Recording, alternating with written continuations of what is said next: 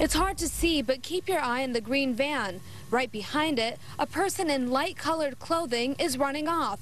Then two seconds later, police squad cars giving chase. It was the end of a chaotic night following a party that went wild. There were so many fights on Mound, individual fights that have spilled over out of the parking lot, that traffic was actually blockaded. Traffic couldn't even get through. Warren police were called to the Knights of Columbus Hall on Mound Road shortly after midnight Friday for shots fired. But when they got there, the scene was out of control. Police say between 300 and 400 teens packed the Warren Hall, a place with a capacity of less than 180.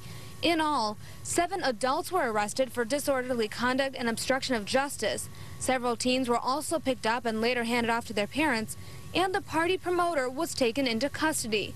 But Warren Police Commissioner says what's frustrating is that this isn't the first time the promoter has caused problems, and at the same venue. You're kidding me, right? You continue to have these groups come in, and you know there's problems, and there's problems every time it occurs. Why would you keep renting a place? I think it's greed. But the hall's manager says that's not it.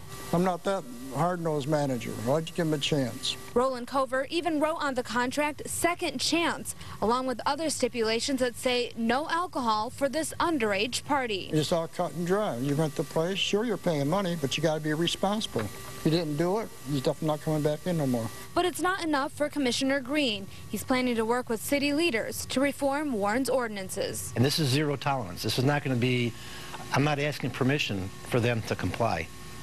I'm, they're going to comply, and they're going to comply immediately, because sooner or later one of my officers is going to get hurt. That's not going to happen on my watch. However, an officer did suffer minor injuries during a foot chase last night. She is expected to be okay. Now, the commissioner plans to meet with the mayor and city attorney on Monday to discuss that city ordinance. He wants to hit businesses where it hurts, and that's in their wallet with punitive damages.